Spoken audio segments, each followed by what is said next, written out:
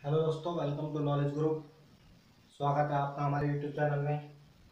हमारा रीजनिंग में पासा जो चैप्टर है, वो हमारा कम चल रहा था, जिसमें हमने पार्ट वन यानी पहला लेक्चर उसमें कंप्लीट कर लिया है, जिसमें हमने जो बंद पासे की जितनी भी आकृतियाँ थी, जितने भी उससे जुड़े हुए क्वेश्चन थे, वो सब हम कर चुके हैं, और आज पार्ट टू करने वाले हैं हम, और जिसमें हम स्टार्ट करेंगे खुला पासा ओपन डाइस जिसमें हमें प्रसारित सतह दिखाई देंगी, यानी क्वेश्चन में हमें प्रसारित सतह मिलेंगी।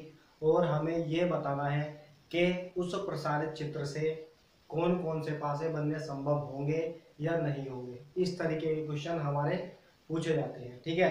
तो करते हैं चार पाँच तरीके के क्वेश्चन आते हैं, यानी कि प्रसार चित्र दिया होता है विभिन्न विभिन्न तरीके से। तो आज हम उसी को डिस्कस करने वाले हैं, ठीक है? और दोस्तों देखो, यदि वीडियो आपको पसंद आया करे तो प्लीज़ वीडियो को लाइक ज़रूर कर दिया करो और कमेंट करके बताया करो कि अगर कुछ कमी दिखाई दी या अगर आपको कुछ डाउट हो तो कमेंट बॉक्स में कमेंट करके बता दिया करो, ठीक है? और यदि आपने चैनल सब्सक्राइब नहीं किया है तो प्लीज़ चैनल को सब्सक्राइब ज़रूर करें, ठीक है? तो चलो स्टार्ट करते हैं आज का टॉपिक और आज के टॉपिक में हमारे पासे का पार्ट टू होने वाला है। पासे का पार्ट टू होने वाला है, जिसमें हम स्टार्ट करेंगे ओपन डाइस या खुला पासा, ठीक है? अब देखिए, इसे स्टार्ट करने से पहले मैं कुछ कंसेप्ट आपको बता दूँ कि उसमें क्या होगा, ठीक है? क्योंकि इसमें क्या होगा, खुले पासे में यदि आपको विपरीत सतह ज्ञात करनी आती है तो आप क्वेश्चन सोल्व कर पाओगे, अन्यथा नहीं कर पाओगे, ठीक है? और विपरीत सतह जो देखनी है, वो काफ़ी सिंपल कंसेप्ट है, उसका कुछ हार्ड काम नहीं है, ठीक है? जिस तरीके से अगर मैं बात करता हूँ, देखो, अभी तक क्या था, हम जो बंद भाषा पढ़ रहे थे, उसमें भी छह सतह पढ़ते थे, लेकिन उस छह सतहों में हमें क्या करना होता था कि उनमें हमें जो बंद आकृति दी जाती थी, तीन सतह हम देख पाते थे, और उनके विपरीत जो तीन होती थी, उनको हम नहीं देख पाते थे। लेकिन यहाँ पर जो हमारा खुला पासा होगा, इसमें हम सारी की सारी, यानी कि छह की छह सतह हम देख सकेंगे, ठीक है? तो देखिए, जिस तरीके से मैं एक चित्र बना रहा हूँ, यानी प्रसार चित्र बना रहा हूँ, जिसको आपको समझना है कि इसमें हम विपरीत किस तरीके से निकाल सकते हैं, ठीक है? ये आपके सामने एक प्रसार चित्र है, जिसमें हमारे पास छह अंक तक छह सतह दी गई हैं। इसमें यदि हम विपरीत की बात करते हैं तो इसमें विपरीत निकालने के लिए आपको सिर्फ़ एक बात याद रखनी है कि एक स्थान छोड़ करके जो दूसरा स्थान आएगा या कह सकते हैं हम कि तीसरे नंबर की जो सतह होगी, वो एक दूसरे के विपरीत होगी, ठीक है? जिस तरीके से यदि मैं एक की बात करूँ कि एक का विपरीत क्या होगा तो एक के बाद एक स्थान छोड़ने के बाद जो दूसरा स्थान आएगा, यानी हम कह सकते हैं जो तीन सतह आएगी, वो एक के विपरीत होगी। मतलब एक के विपरीत कौन सी सतह होगी? तीन होगी, ठीक है? उसी प्रकार हम देखेंगे कि दो के विपरीत तो दो के बाद एक स्थान छोड़ना है, फिर दूसरा जो आएगा वो विपरीत होगा। तो कह सकते हैं कि दो के विपरीत चार होगा। उसी तरीके से यदि इधर बात करते हैं तो इधर पाँच के बाद एक स्थान छोड़ने के बाद छह आएगा। तो हम कह सकते हैं कि पाँच का जो विपरीत होगा वो छह होगा, ठीक है? तो इस तरीके से हमें विपरीत ज्ञात करने हैं और इसी पर आधारित यदि हम क्वेश्चन की बात करते हैं तो इसी पर आधारित हमसे क्वेश्चन भी पूछा जाता है। और क्वेश्चन किस प्रकार का पूछा जाता है? तो देखिए क्वेश्चन के माध्यम से भी समझते हैं, समझने की कोशिश करते हैं। तो देखो, जो क्वेश्चन है, वो आप पढ़ भी सकते हैं, आपकी स्क्रीन पर लग जाएगा, ठीक है? ठीक है भाई लगा क्वेश्चन देखो क्वेश्चन इस तरीके से है ये कि इस क्वेश्चन में दिया हुआ है, इस क्वेश्चन में ये दिया हुआ है कि ये जो जितनी भाषा लिखी हुई है, वो आप पढ़ सकते हो निम्न चित्र में जो है आकृति दी गई है। और उसमें से कौन सा पासा बनना संभव है, इस तरीके से बना हुआ है ठीक है? तो मैं प्रसार चित्र बना रहा हूँ क्वेश्चन आपके सामने है। प्रसार चित्र ये है कि इस तरीके की सतह दी हुई है और इन सतहों में ए सतह है बी सतह और ई e और एफ़ सी और डी ये सतह हैं अब इनमें हमें सबसे पहले ये ज्ञात करना है कि इनका विपरीत क्या क्या होगा। तो यदि हम विपरीत की बात करते हैं तो ए का विपरीत ए होना है।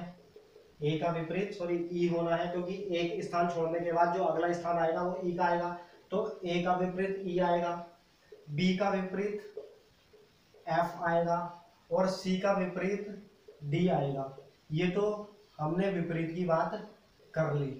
विपरीत की बात कर ली। विपरीत है ये। अब एक बात आपको और याद रखना है, यदि पासा है और पासे में यदि हमें एक सतह दिख रही है और उसका विपरीत यदि हम जानने की कोशिश करेंगे तो उसकी जो विपरीत सतह होगी, वो हमें दिखाई नहीं देगी। ठीक है? जिस तरीके से हमारा बंद पासा होता है, जिस तरीके से मान लो एक पासा ये है और इस पासे में, जैसे कि इसी के ऑप्शन है, हम ए बी सी डी करके, जैसे कि आप देख पा रहे हैं कि पहला जो ऑप्शन है वो है सी ए और डी इस तरीके से ये ऑप्शन है।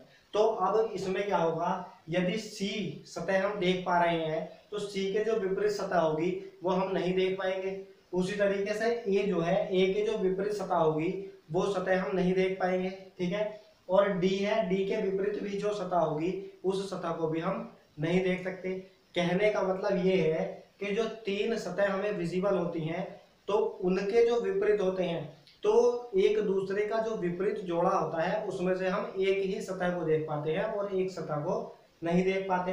अब यहाँ पर देखो, इस तरीके से यानी यहाँ ये जो विपरीत हमने निकाला है यदि हम इसकी बात करते हैं। तो जो ए सतह होगी तो ए का विपरीत ई होगा। अर्थात जो दिए दिए गए ऑप्शन होंगे, उन ऑप्शन में यदि हमें ए सतह दिख रही होगी तो ई सतह नहीं दिखनी चाहिए, ठीक है? और यदि बी दिखनी चाहिए बी दिख रही होगी तो एफ़ नहीं दिखनी चाहिए, और सी दिख रही होगी तो डी नहीं दिखनी चाहिए, ठीक है? मतलब इनमें से एक एक सतह हमें दिखनी चाहिए, ठीक है? अब बात करते हैं यहाँ पर। देखो सी है।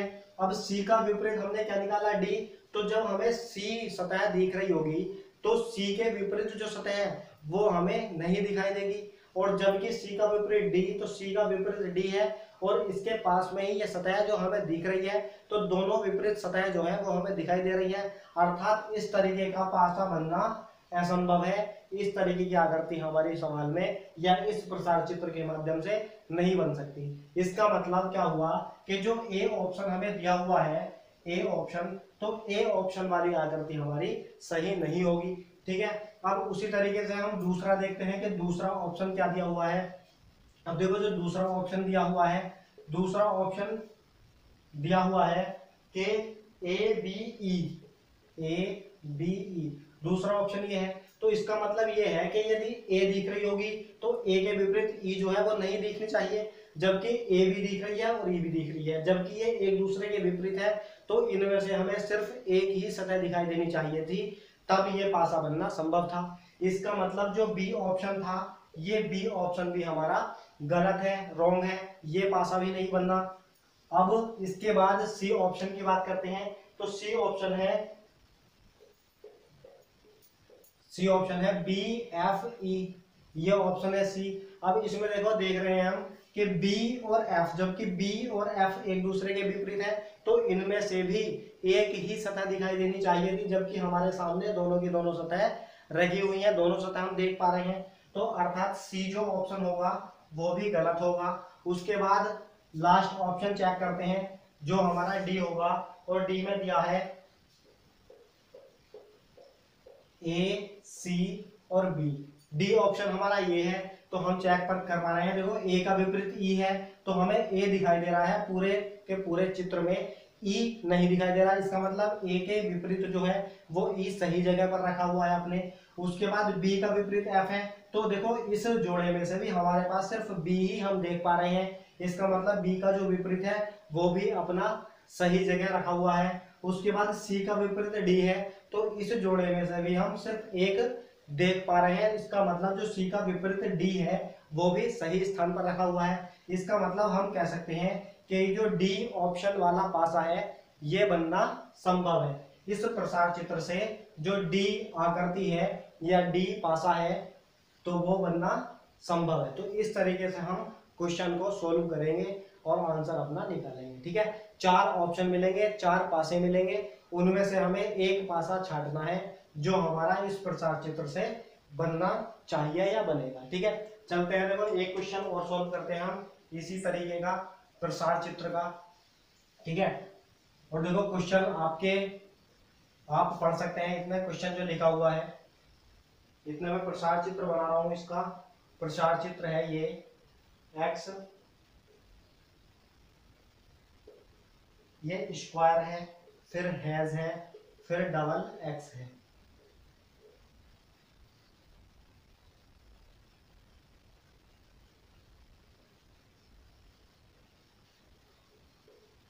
इस तरीके का ये चित्र है। अब सबसे पहले क्या करना है हमें? सबसे पहले इनका विपरीत निकालना है। अब विपरीत निकालने के लिए क्या करना है? एक छोड़ करके जो दूसरे स्थान पर सतह होगी, वो एक दूसरे के विपरीत होगी। जिस तरीके से ये x लिखा हुआ है, x का विपरीत हो जाएगा ज़ीरो, या बोल सकते हैं व्रत हो जाएगा। फिर इसका ये हो गया, फिर इधर से निकाल लो कि जो स्क्वायर है वर्ग दिया हुआ है, इसका जो डबल एक्स लिखा हुआ है ये तो ये इसका विपरीत हो जाएगा। और जो शेष आकृति बची दो वे एक दूसरे के विपरीत होती है। जो शेष बची हुई आकृति है, वो भी एक दूसरे के विपरीत होती हैं। जिस तरीके से त्रिभुज है और इधर से हैज़ बच रहा है तो त्रिभुज का विपरीत हैज़ हो जाएगा, ठीक है? अब चेक करते हैं हम अपना ए ऑप्शन। जिस तरीके से ए ऑप्शन दिया हुआ है, और ए ऑप्शन क्या है हमारे पास? तो ए ऑप्शन है, यहाँ पर स्क्वायर है, यहाँ पर स्क्वायर बना हुआ है, फिर है ज़ीरो, फिर है एक्स ये हमारे पास ए ऑप्शन है। तो देखो, इसमें जब हम चेक करते हैं तो x का विपरीत यहाँ पर o है। तो x और o इस जोड़े में से, इस चित्र में हमें सिर्फ़ एक दिखाई देना चाहिए। तभी ये पासा बनना संभव हो सकता है। जबकि हम देख पा रहे हैं कि x और o या x और ज़ीरो जो है, वो हम विजिबल कर पा रहे हैं, यानी कि देख पा रहे हैं इनमें। तो इसका मतलब ये जो पासा होगा, ये बनना असंभव होगा। अब उठाते हैं हम अपना बी ऑप्शन और जो बी ऑप्शन है उसमें क्या क्या दिया हुआ है? बी ऑप्शन में। तो बी ऑप्शन में दिया हुआ है एक्स त्रिभुज और स्क्वायर अब देखो, इसमें बात करते हैं। तो एक्स है एक्स का विपरीत ओ है। तो इस पूरे जोड़े में से हमें एक दिखाई देना चाहिए। तो हम देख पा रहे हैं कि एक्स दिखाई दे रहा है और एक्स का जो विपरीत है ज़ीरो वो हमें नहीं दिखाई पा रहा। ठीक है? तो इसका मतलब यहाँ तक तो ठीक है। उसके बाद फिर चेक करते हैं कि देखो, जो स्क्वायर है, यानी वर्ग है, वर्ग का जो विपरीत है, वो डबल एक्स है। तो डबल एक्स में और वर्ग में हम एक ही जो सतह है वो हम यहाँ पर देख पा रहे हैं। तो इसका मतलब ये भी ठीक है। उसके बाद त्रिभुज का विपरीत हैज़ है तो त्रिभुज हमें दिखाई दे रहा है और हैज़ हमें नहीं दिखाई दे रहा। है इसका मतलब इन तीनों जोड़ों में से हमें सिर्फ़ विपरीत में से एक एक सतह दिखाई दे रही है। तो अर्थात हम कह सकते हैं कि इस प्रसारित चित्र से ये जो बी ऑप्शन वाला पासा है वो बनना संभव है। इसका मतलब हमारा आंसर हो जाएगा बी ठीक है? और यदि मैं बाकी सी वाले ऑप्शन की बात कर रहा हूँ सी किस तरीके से गलत है?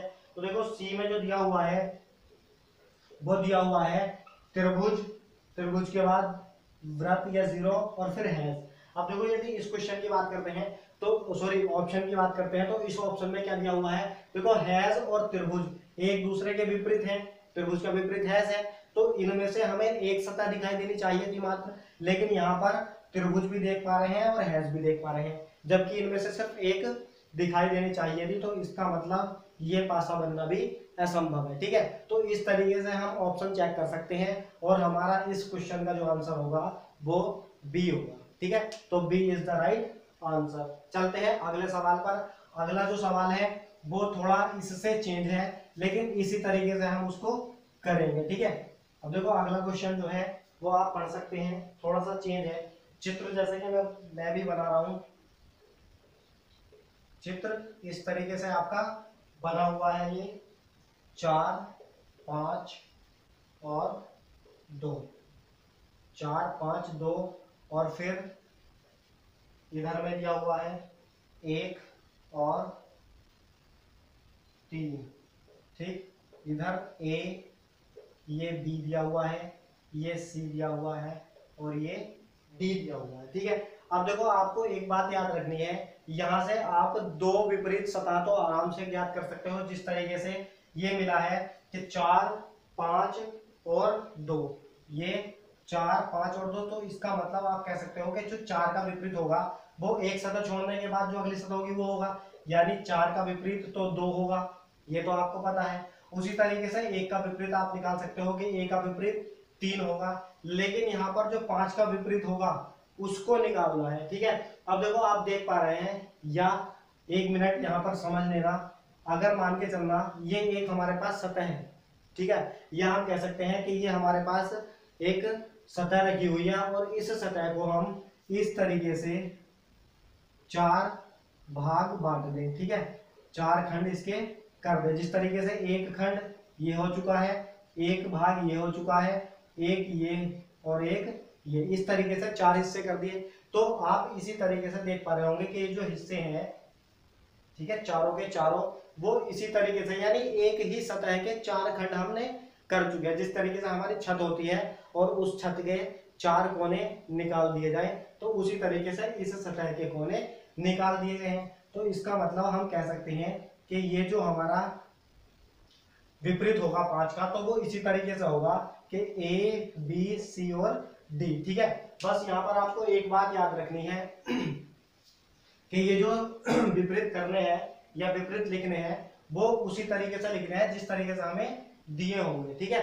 क्लॉकवाइज लिख लो या एंटी क्लॉकवाइज लिख लो, उसमें कोई प्रॉब्लम नहीं है, लेकिन क्रम यही रहना चाहिए, यानी ए बी सी डी यही क्रम रहना चाहिए। या आप बी से स्टार्ट कर दो बी सी डी ए लेकिन ये क्रम बहुत ज़रूरी है, क्योंकि बहुत से ऑप्शन में मिल जाता है, लेकिन उल्टा क्रम दे देता है, यानी मिलते तो चार के चार हैं, लेकिन इस तरीके से मिल जाते हैं कि ए सी डी बी इस तरीके से।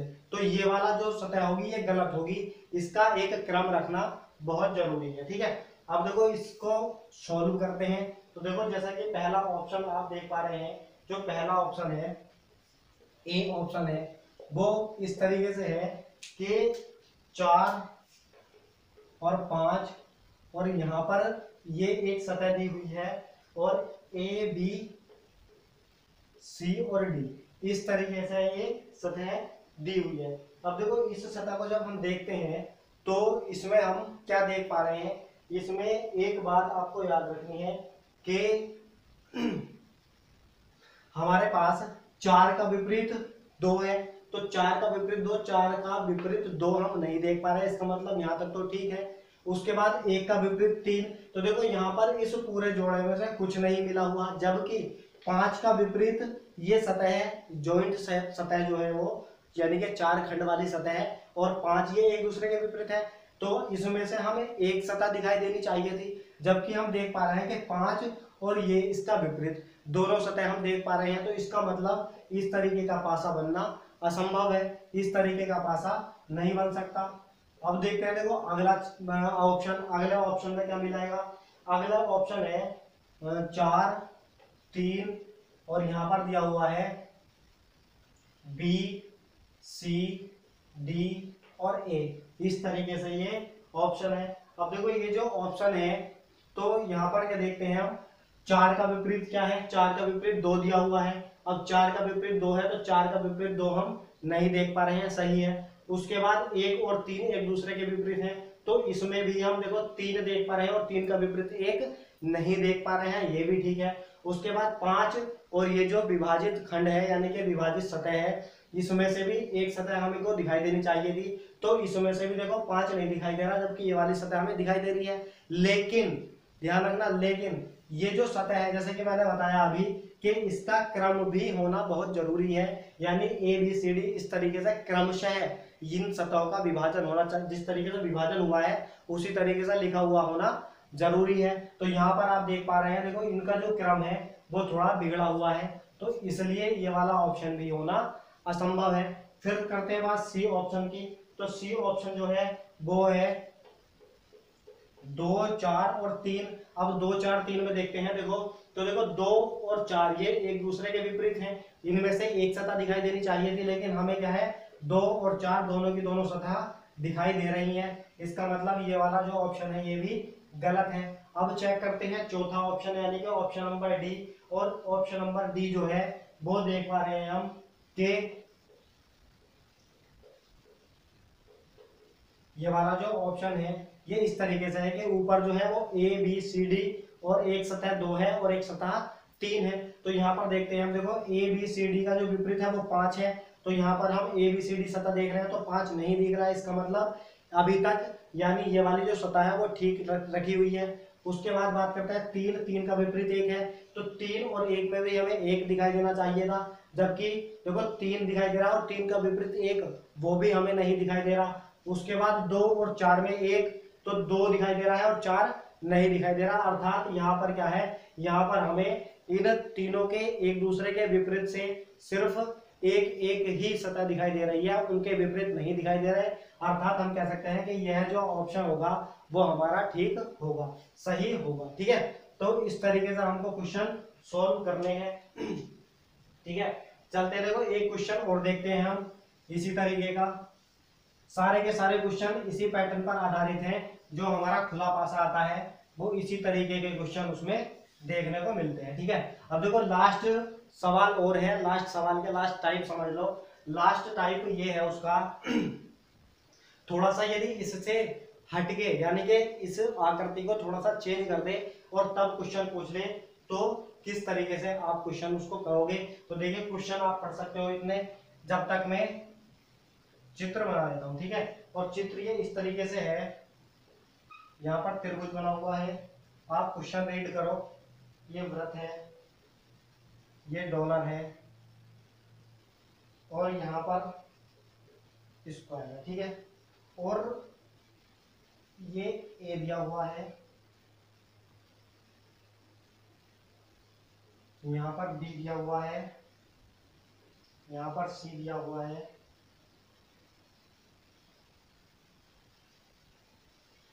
यहाँ पर डी दिया हुआ है, ठीक है? इस तरीके का क्वेश्चन है। अब देखो, यहाँ से दो सतह जो है, वो आसानी से निकाल सकते हैं, जो विपरीत सतह होगी। देखो, त्रिभुज का विपरीत भी आप आराम से निकाल सकते हो। त्रिभुज का विपरीत डॉलर हो जाएगा, कोई दिक्कत वाली बात नहीं है। जो व्रत है, उसका विपरीत स्क्वायर हो जाएगा, इसमें भी कोई दिक्कत वाली बात नहीं है।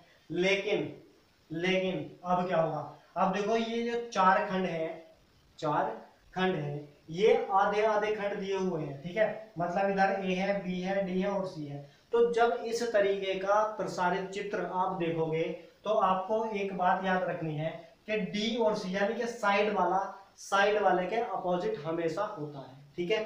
जैसे डी और सी ये विपरीत होंगे किसके? ए और बी के। ये बात आपको याद रखनी है, यानी कि डी सी ए बी के विपरीत होगा, ठीक है? अब देखो यहाँ से हम ऑप्शन चेक और कर लेते हैं। ऑप्शन चेक और करते हैं कि इस प्रसारित चित्र से ये जो आपके पास ऑप्शन दिए हुए हैं, इनमें से कौन सा पासा बनना संभव होगा, ठीक है? जैसे कि देखो, अब पहला ऑप्शन चेक करते हैं हम। जो पहला ऑप्शन हमें दिया हुआ है, वो इस तरीके से दिया हुआ है। ये ए ये बी ठीक? फिर ये सी और ये डी और यहाँ पर ओ ये ज़ीरो ठीक है? ये पहला ऑप्शन है। तो हमारे पास क्या है? त्रिभुज का विपरीत डॉलर है। अर्थात जो अगर हमें त्रिभुज देखने को मिलेगा तो डॉलर नहीं होना चाहिए चित्र में। अगर ज़ीरो देखने को मिलेगा तो फिर स्क्वायर नहीं होना चाहिए। और यदि डीसी देखने को मिलेगा तो फिर उस चित्र में ए भी नहीं होना चाहिए। अब यहाँ पर हम देख पा रहे हैं, देखो, शुरू में ही कि ये ए बी वाली सतह भी है और साथ में सी डी वाली भी सतह इसमें दिए हुए हैं। जबकि ये एक दूसरे के विपरीत है और विपरीत सतहों में से हमें सिर्फ़ एक ही दिखाई देनी चाहिए, दोनों नहीं दिखाई देनी चाहिए, ठीक है? तो अर्थात ये वाला जो ऑप्शन होगा वो हमारा रॉन्ग होगा, गलत होगा, ठीक है? अब यदि हम दूसरे ऑप्शन की बात करते हैं कि दूसरा ऑप्शन क्या है तो दूसरे ऑप्शन में दिया हुआ है ए बी त्रिभुज और डॉलर ठीक है? त्रिभुज डॉलर और ये दिया हुआ है ए बी इस तरीके से दिया हुआ है। अब देखो, इसमें भी हम देख पा रहे हैं दोस्तों, त्रिभुज और डॉलर, ये एक दूसरे के विपरीत है। तो इनमें से भी हमें एक सतह दिखाई देनी चाहिए थी, जबकि त्रिभुज और डॉलर दोनों सतह हमें दिखाई दे रही है। तो ये वाला ऑप्शन भी गलत होगा। ये पासा बनना भी असंभव है। इस तरीके का पासा भी नहीं बनेगा, ठीक है? उसके बाद सी ऑप्शन चेक करते हैं। तो सी ऑप्शन में दिया हुआ है, एक सतह तो सी डी की दी हुई है, एक सतह डॉलर की दी हुई है। और एक सतह ज़ीरो की दी हुई है मतलब वृत्त की दी हुई है, ठीक है? तो अब यहाँ पर चेक करते हैं, देखो सी और डी सतह है सी और डी के विपरीत क्या है? ए बी है तो ए बी हमको नहीं देख पा रहे हैं हम। तो इसका मतलब ये वाली जो सतह है, वो ठीक रखी हुई है। उसके बाद व्रत देखते हैं व्रत का जो अपोजिट है, वो वर्ग है। और व्रत का अपोजिट वर्ग हम देख पा रहे हैं कि व्रत दिख रहा है, लेकिन वर्ग हमें इसमें कहीं पर भी दिखाई नहीं दे रहा है। इसका मतलब ये भी ठीक है। उसके बाद डॉलर और त्रिभुज एक दूसरे का अपोजिट है, जिसमें हम डॉलर देख पा रहे हैं और इसका अपोजिट त्रिभुज हम कहीं नहीं देख पा रहे हैं। अर्थात ये जो तीनों की तीनों सतह हैं, इनके विपरीत हम नहीं देख पा रहे हैं। इसका मतलब इस तरीके की जो आकृति होगी या ये वाली जो आकृति होगी, वो इस प्रसार चित्र से बननी संभव है। यही आकृति इस प्रसार चित्र से बनेगी, ठीक है? तो उम्मीद करता हूँ ये कंसेप्ट यानी इससे अलग और कोई क्वेश्चन है ही नहीं और कोई टाइप इस तरीके का पासे का है ही नहीं, ठीक है? इन्हीं प्रसारित चित्रों से आपके एग्ज़ाम में सवाल पूछे जाते हैं, जिसको मैंने अच्छी तरीके से आपको समझा दिया। उम्मीद करता हूँ कि आपको ये कंसेप्ट ये टॉपिक समझ में आया होगा, ठीक है? तो दोस्तों, मिलते हैं अगले वीडियो में, अगले किसी टॉपिक के साथ, ठीक है? जिसमें हमारा अब पासा जो चैप्टर है, यानी डाइस जो चैप्टर है, वो हमारा कंप्लीट हो चुका है, ठीक है? तो और फिर से वही बात, अगर वीडियो आपको अच्छी लगे करे तो प्लीज़ वीडियो को शेयर ज़रूर कर दिया करो, ठीक है? और लाइक का बटन ज़रूर दबा दिया करो, ठीक है? और अभी तक यदि चैनल सब्सक्राइब नहीं किया है तो प्लीज़ चैनल भी सब्सक्राइब कर दियो, ठीक है? मिलते हैं अगले वीडियो में, धन्यवाद।